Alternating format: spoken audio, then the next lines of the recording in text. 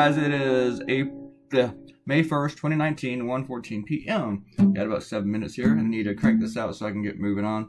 The next one, I'm going to go pick up um, suit soon and stuff. They're supposed to email me yesterday. They never did. I called them it's ready. This, this one was a lot of lettering, which took up most of the time. So it wasn't, didn't take forever for me to draw it. Um, which was good because I was really, really tired because my nap did not kick in last night. Because somebody was doing laundry all night. All night. All night long. Alright. Uh. So, laundry's just gonna kill me. I'm gonna move out just because of the freaking laundry. Um. Donald Trump has told 10,000 lies. At this point, I think he's told like 10,150.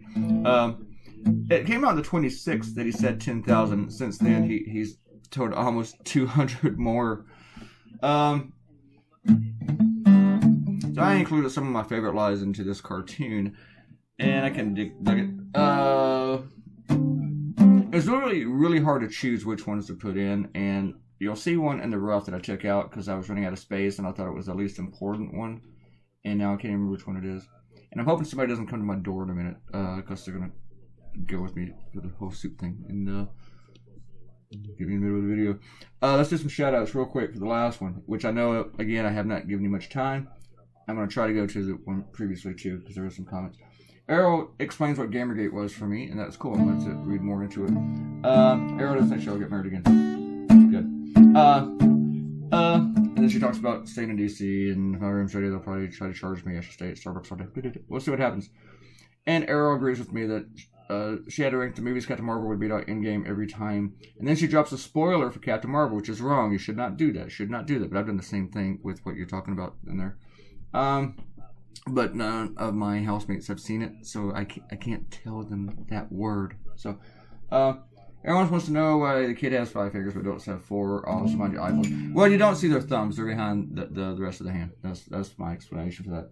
Robert Cotino did not like this the last cartoon that much with the whole Nazi stomping. Not that he opposes me drawing Nazis. I don't think. It was just meh to him. But he really, really loved one earlier in the week, so I'm gonna let that slide this time. And uh, on the last one previously with the what was that cartoon? Oh, about the Nazis and Franklin Graham and everything. Um, Robert Cotino might be the first person who's noticed the, the word on the podium that said precedent, not president.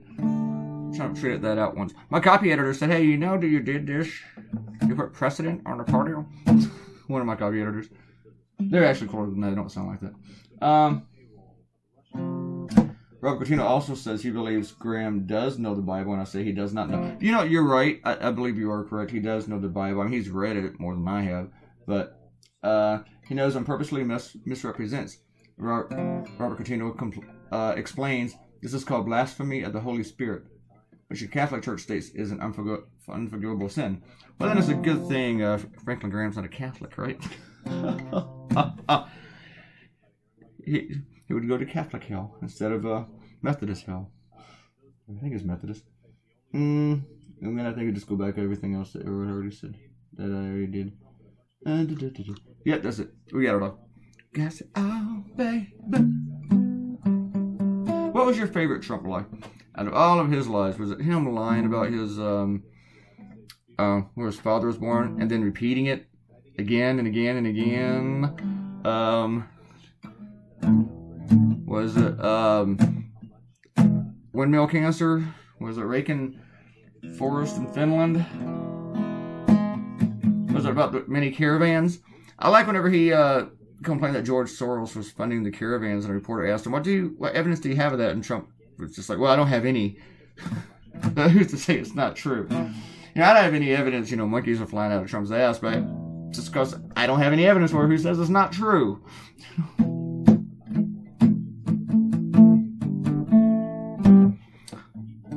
trying to remember some other lies that I put in the cartoon now. I like that he puts fake Time magazine covers of himself.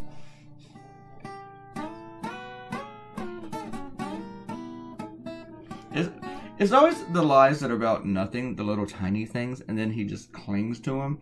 He can't ever admit that he was wrong something. But uh, the week had this article about six theories about why Trump lies so much, and it didn't mention my theory, which is he's a psychopath. He's psychotic. Um, for anyone to lie that much has got to be a psychopath, and that's what Trump is. Uh, and it's like he's a cult leader. He lies and lies. And the thing is, we need to stop trying to figure out why Trump lies. We need to figure out why people still follow him, why they still believe him. Because it just can't because you like the economy. We had a great economy underneath Obama, who, by the way, um, New York Times says lied 18 times during his two terms. Um, and it said that, and according to New York Times, that whenever something Obama or even George W. Bush would say and it turned out not to be true, they would stop saying it. Not Donald Trump. He will keep repeating it. He doubles down. He triples down. He quadruple downs.